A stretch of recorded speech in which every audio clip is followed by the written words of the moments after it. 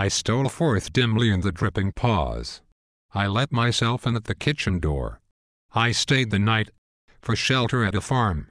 I slumbered with your poems upon my breast. I found a dimpled spider, fat and white. I went to the physician to complain. I never dared be radical, when young. I farm a pasture. Where the boulders lie. I would build my house, of crystal. I love to toy with the platonic notion. I could be worse employed. I walked down alone Sunday after church. I never happened to contrast. I turned to speak to God. I didn't like the way he went away. I felt the chill of the meadow underfoot. I didn't make you know how glad I was. I dwell in a lonely house, I know.